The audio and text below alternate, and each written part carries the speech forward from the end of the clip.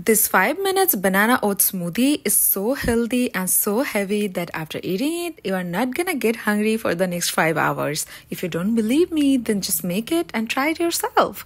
So for making it, you're gonna need 1 banana and 2 dates to make it sweeter. But if you want, you can also add more than that. So here I just rinsed it for one time and then I took out the seed. Now add half cup of oats. Here I added a old fashioned one and then you're also gonna add some milk. Here I added one cup of whole milk, but any kind of milk will work. Then I added some ground cinnamon. Um, yeah, it's not optional. You have to add it because it's gonna make it more flavorful. And here I added about one fourth teaspoon and now if you want you can also add some honey uh, this is optional because it's gonna be sweeter because you added the dates then i added some nuts and after that i blended it and there you have it beautiful smoothie and um, at the very end i like to